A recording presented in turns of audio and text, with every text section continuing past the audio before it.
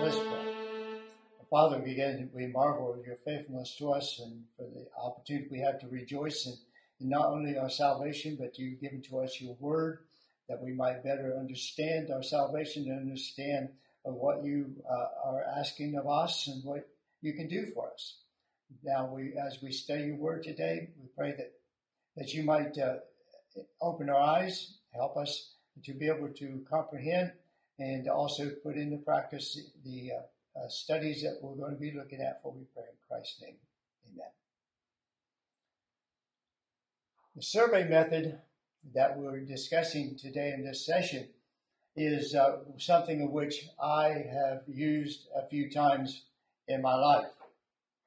Uh, and uh, this is a study that can scare the living daylights out of a student or it can encourage you one way or the other.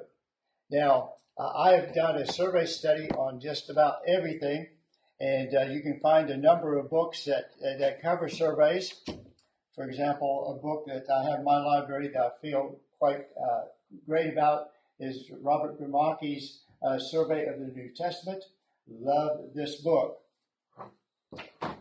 Uh, a book that I happen to treasure because it was signed by the author, is, uh, is a guy by the name of Irving Jensen. He has a uh, survey of the Old Testament as well as the New Testament. This happens to be the uh, Old Testament. I'm not a book salesman, but if I were, let me uh, show a couple books that are very precious to me. Uh, this uh, you will find is is patterned after the material I'll be showing you today, and something that I have put in print, and something that uh, that is available. And uh, if you'd like a signed copy, just contact me on Facebook. As well as this just covers up from the period between the, the minor prophets and goes up through the book of Acts. And uh, that's the only thing I, I've officially put in print even though I have a lot of other works. For example, I'm asking you in this study to do a uh, study on the book of Ruth. Uh, and I'll be showing you some uh, examples today based on the book of Joshua. And uh, so I've done a lot of, of surveys and uh, all the New Testament books as well as a number of the Old Testament books. Well, the survey. If you haven't already done so, make sure that you go to the bottom of the video and download the uh, uh, programs that are there, the files that are there. The reason for it is because I'm not going to be to, in this uh, session today showing you this outline, but I will be showing you an example of this out from this outline. And so if you take this outline and you go through any materials that I put in print, you will find that they uh, are put together exactly the way this outline uh, is given to you. So, for your benefit today, we're going to look at the book of Joshua. And since I'm going to be asking you to do a study on the book of Ruth, this study uh, will be uh, from the same same section or the same from the historical books. Now, step one is we look at the authorship. In this case, it happens to be Joshua. We look at his name, uh, and uh, notice the fact that his name was changed by Moses.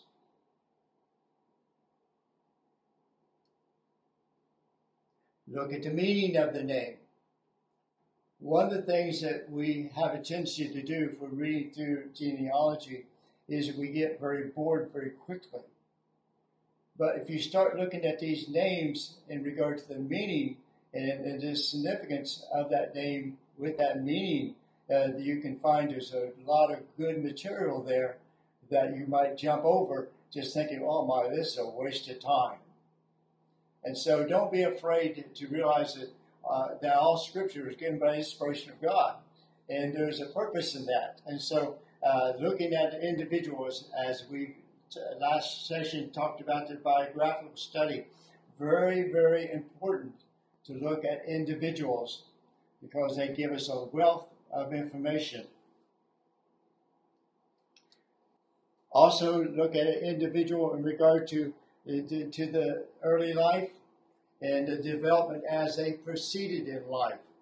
For example, looking at Joshua, we look at his life, his early life, we look at his, uh, his training, uh, all these things that we can find uh, in, in Scripture in, in regard to uh, his life.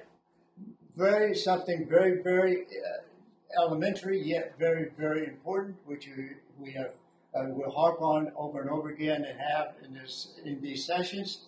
And that is if you put down a bit of information, make sure you put down the evidence or the scripture that backs that information up. Because if it is old and you, you're going to say, you're going to do some scratching of, of your resources to find the material uh, or the evidence and the references uh, that uh, that information came from. So make sure you always list the references because references are proof. In other words, uh, if I tell you that I can jump off this building and fly, uh, you probably won't believe me unless I demonstrate it. So it's so it's true of Scripture. And so if you make a statement, be able to back it up. Make sure that you you clearly state what you, what the Scripture is saying, and that that you have proof for that.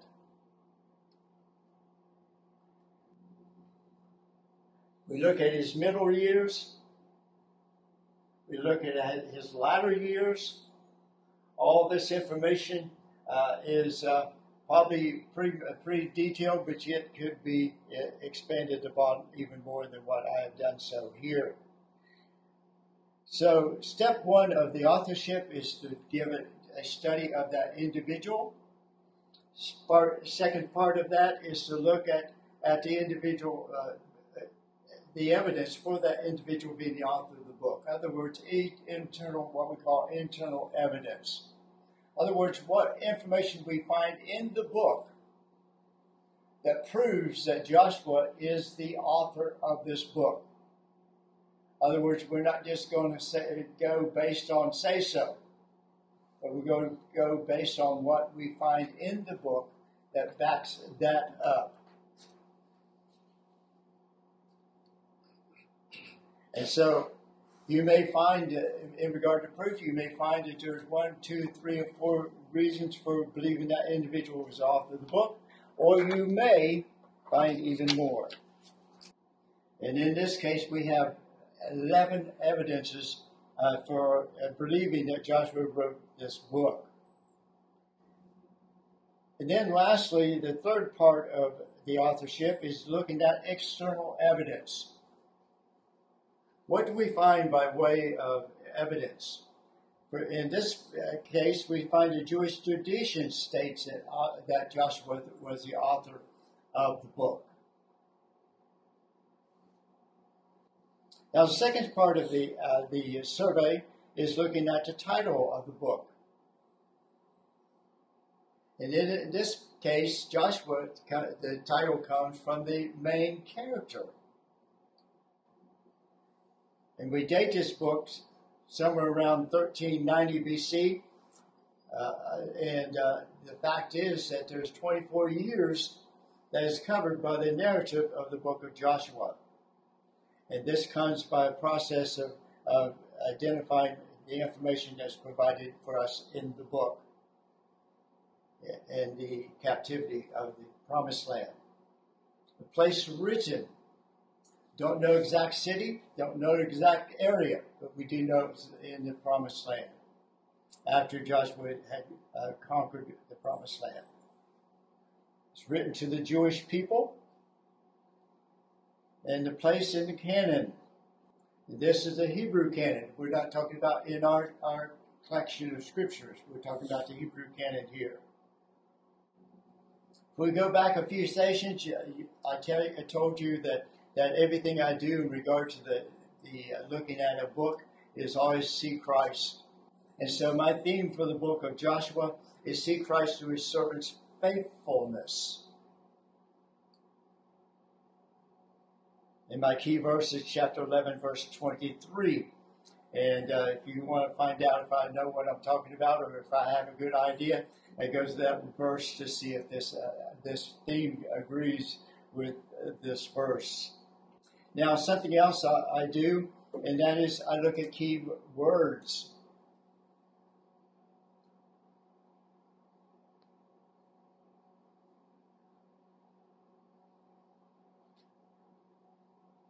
And in this regard, even though it's used over 50 times, I would record every location where this word is found, if it's a key word. Where, in behalf of what we looked at in the character uh, quality method, uh, we uh, looked at that and we said that if we did a, a particular study on a Greek word or, or Hebrew word that was used more than 50 times, did not record all the references, but in this regard, that I do. Key phrases.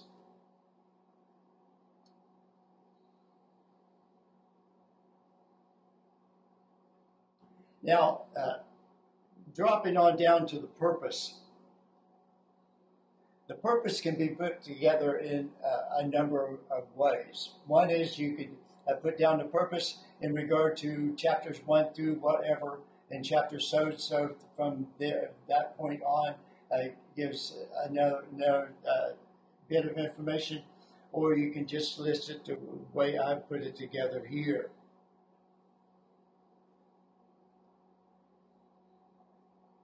As we can see, uh, as we go through our Bible, we, we look at the Pentateuch, the first five books of the Bible, and then we go uh, on to, uh, to the book of Joshua.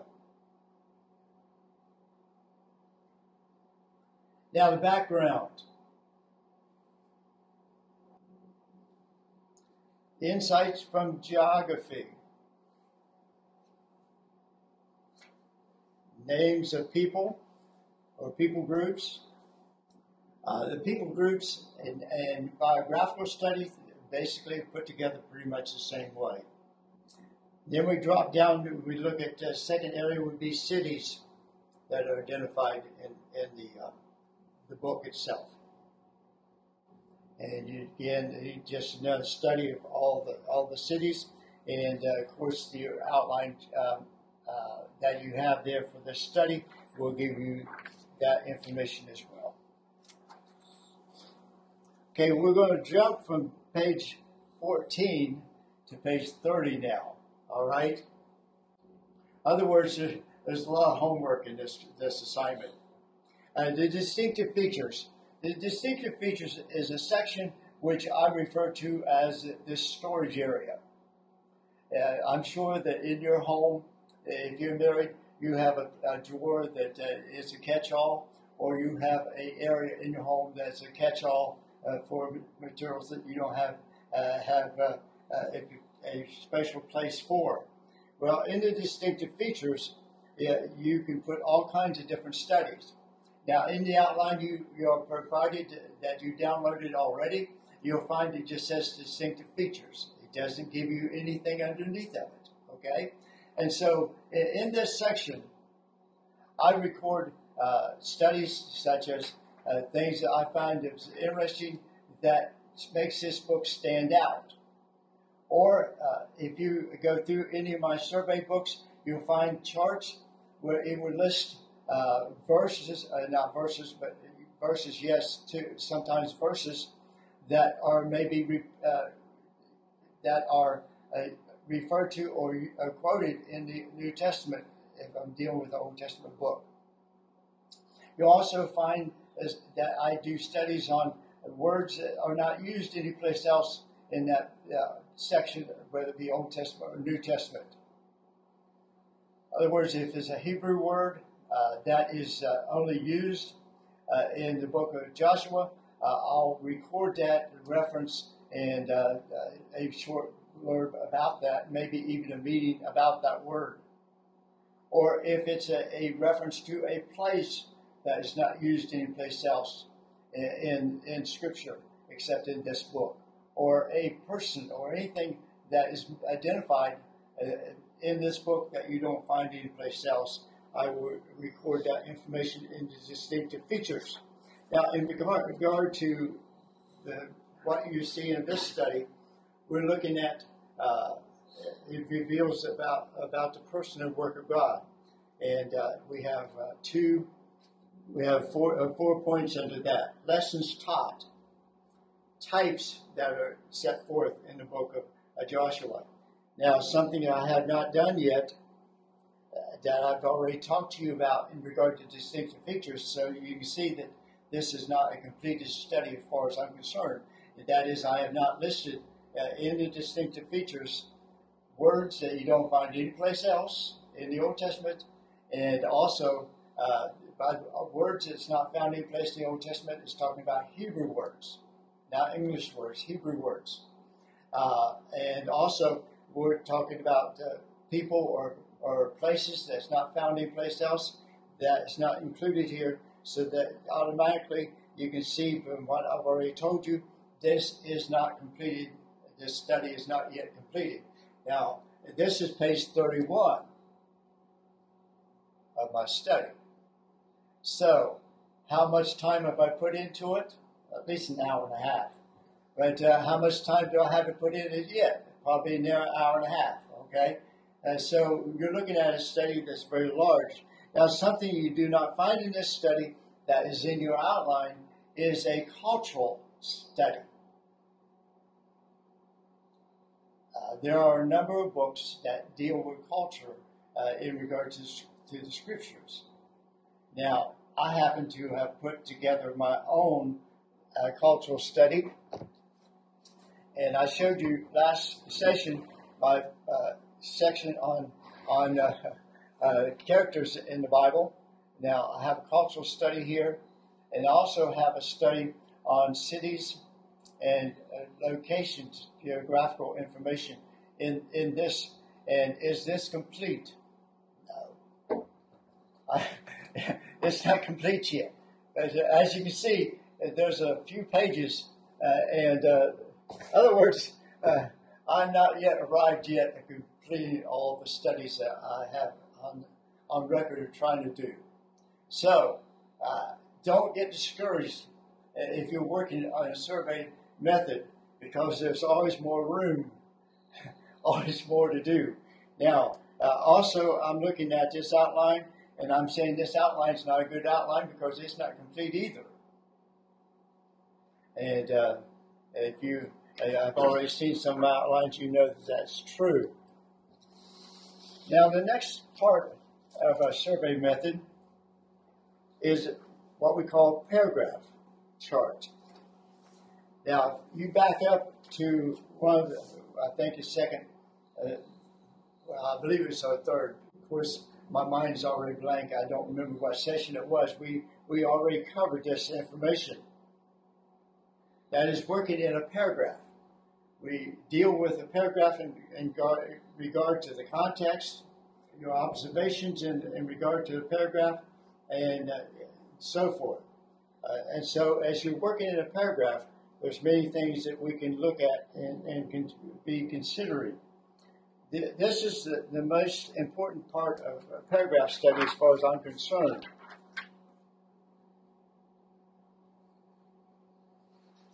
If I'm working through a particular book, this is paperwork or the chart that I use when doing a paragraph chart. Now, there, I've already said in regard to previous session that uh, there are some Bibles that will give you suggestions on paragraphs. And you can agree with them or you can disagree with them. Because this is your study. But this is a this is a form that I use uh, in every every study that I do. Now this is what it looks like when you put it in finished form. This is just uh, chart number one of my paragraphs in Joshua. Other words, the point I'm trying to make by showing you this is if I suggest it to you, I do it. I'm not telling you to do something I don't practice and I don't do. Because I have unlimited uh, illustrations that I can show you that whatever I say or whatever I've taught, that uh, that's exactly how I have uh, approached Scripture study. Notice that in this chart, we not only have a number of paragraphs, but we also have references. We have a caption, excuse me, or what we call the content of that paragraph, what we feel to be the key verses or key verse, what we feel to be the key uh, word or words, and also a key phrase of every paragraph. Now, if you mark your Bible and you, if you've done a, a paragraph study, uh, you can you can just uh, be called upon uh, on the spur of a moment as some Sunday school teacher doesn't show up or whatever, and uh, you just have your Bible with you. If you've uh, done your paragraph study, you can walk into that uh, that uh, particular setting that the Lord has opened the door for you to step into, and He can He can use, give you uh, insight based on what you've already done uh, in order to make your time with those students profitable. And so I'm big on paragraph charts. Now, if you've got, got time to prepare, you may want to go to a nurse chart. Uh, every every book I've done a paragraph chart. Uh, uh, every book I've done a survey method on. Let me back up. Uh, a survey method on I've also done book charts. Uh, this is uh, this is foundation because one of the things that I've already said and want to reemphasize again: visual aids are very, very critical in teaching. And so, if you can show how that, that uh, a passage of scripture uh, is connected and how it proceeds on to the next point and the next point and the next point and the next point, uh, then you uh, have accomplished much with your your uh, time and teaching. And so, for example, if I'm going to put together a series of uh, lessons or Sunday school material on this particular book of Joshua, this is going to be my key starting point.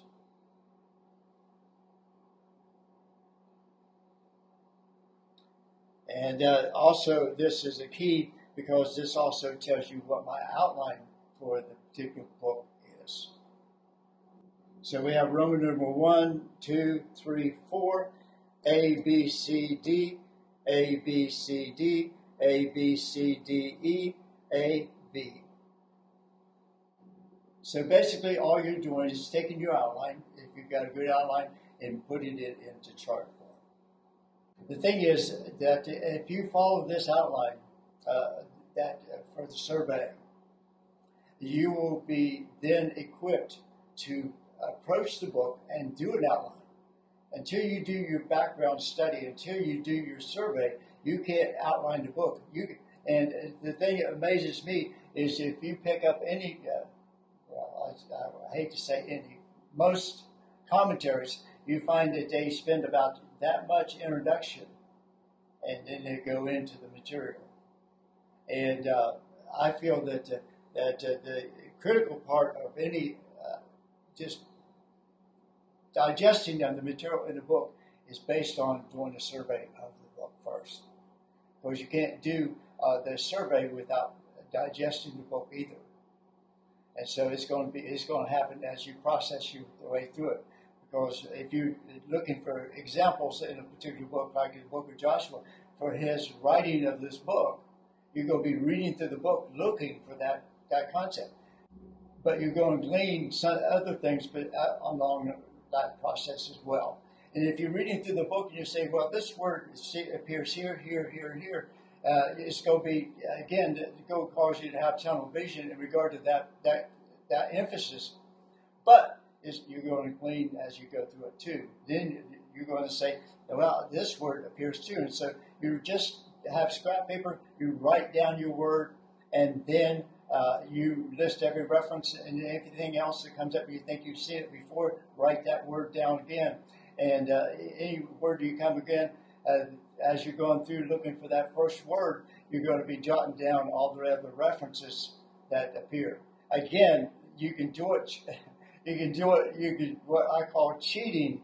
You can you can punch it into a computer and get all your verses and get all your references uh, for a particular word, but it's cheating you because you're not reading the passage. It's a love letter, so read it over and over and over and over again. Now, one of the things that I, I have showed you before when we were looking at the book of, uh, or doing a observation method, and we were looking at the book of Ephesians, is I showed you a different type chart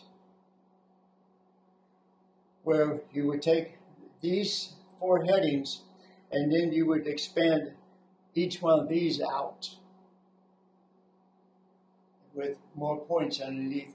Uh, for example, you could have four or five points underneath Joshua's commission, or uh, four or five points under uh, uh the spy sent into Jericho.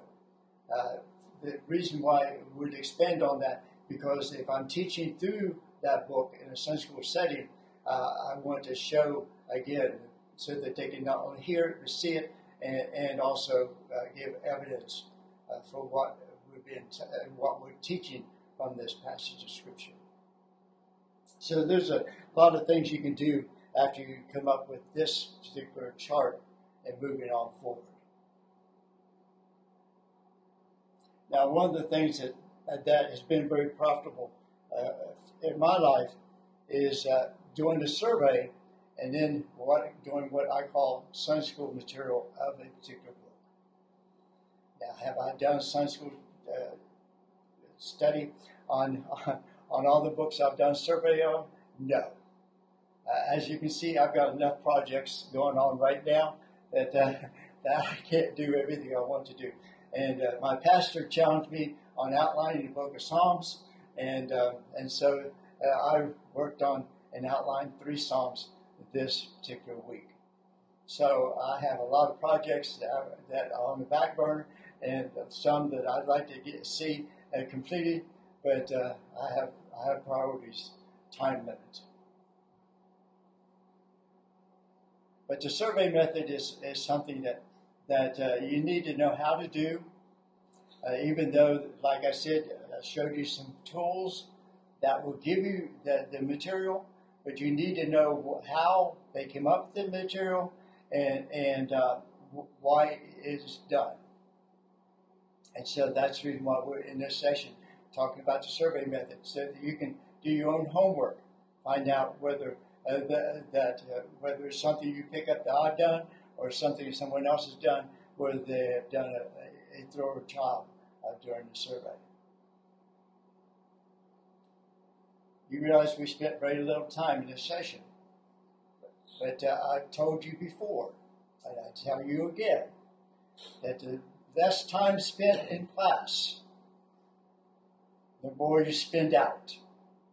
So literally, you could take a month, uh, eight hours a day, and, and work on a survey of a particular book and still not be satisfied if you're a detailed person. So, uh, happy studies. Now, I'm asking you to do a, st- a survey of the book of Ruth. I've already showed you that uh, uh, my little study of, of, the book of Joshua is, is uh, probably uh, somewhere around uh, 37 pages. Uh, my, my survey of the book of, of Ruth is a little longer than that, I believe. And I'm not done yet, so I'm still working on it too. And so hopefully you have fun working with Ruth. Uh, it's a, a good a good study, and uh, uh, I began just tell one on myself. I began a Sunday school lesson uh, of the Book of Ruth, and uh, I've got uh, stalled. I've not not gotten very far.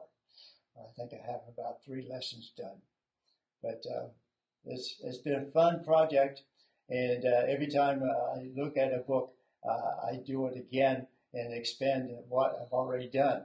So uh, don't be afraid to come back to something you've already worked on and find out that you can expand upon what you've already done and still be even more beneficial in your relationship with the study of God's Word.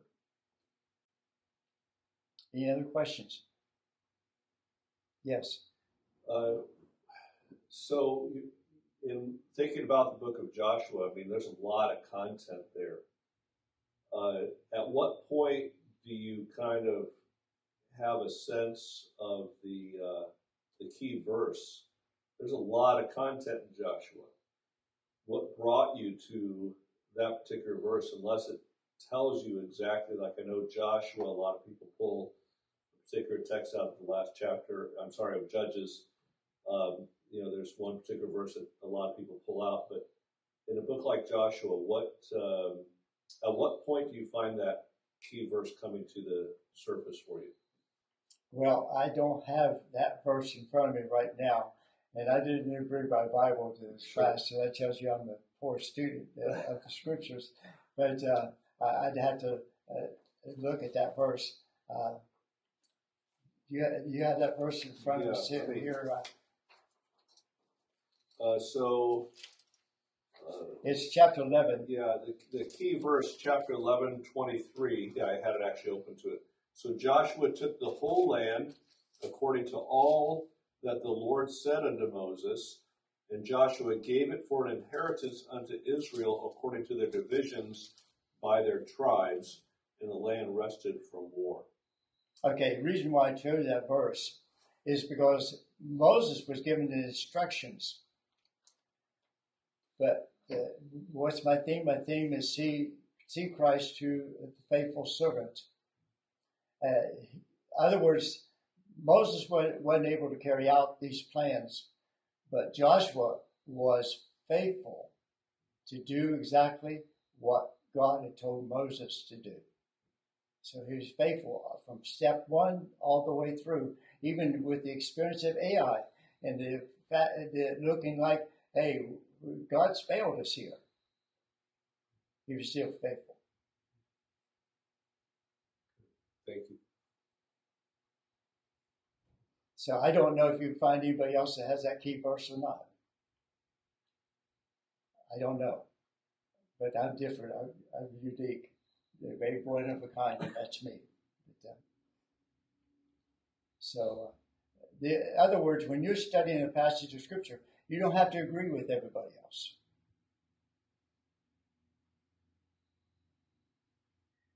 Just don't make new calls. Just be honest with the scriptures.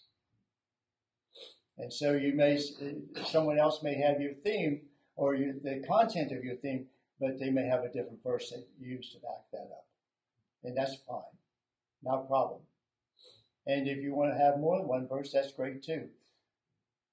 But uh, I just made it simple for me. Okay, any other questions?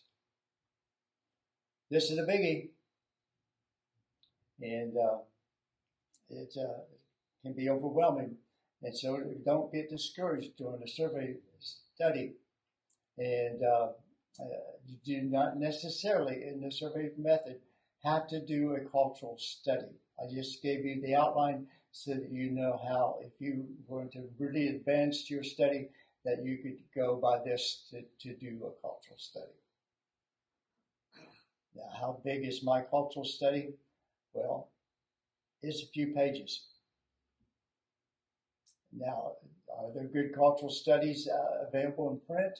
And, and uh, online, yes, there are. But uh, I, I want to do one for myself, so I did. Uh, anything I'd like to have done, and uh, regarding my cultural study, is I would like to have visuals. And uh, I, have got some friends that could do that for me, but uh, I'm not gifted in that. As I showed you in my chart last session, uh, I'm, I'm, pretty pretty raw when it comes to to doing charts. If it's not something I can just put in squares or triangles or It's just pretty hard for me to do. In other words, I'm not left-handed like my pastor, and I'm not gifted in art. Let's look at prayer. Father, we thank you for the fun that we have in studying your word, the joy of realizing that how much you love us and how much you care for us, and how much you want to use your word in our life. And so we pray that you might strengthen us, encourage us to study your word more diligently, and that for this we'll give you praise, for we pray in Christ's name.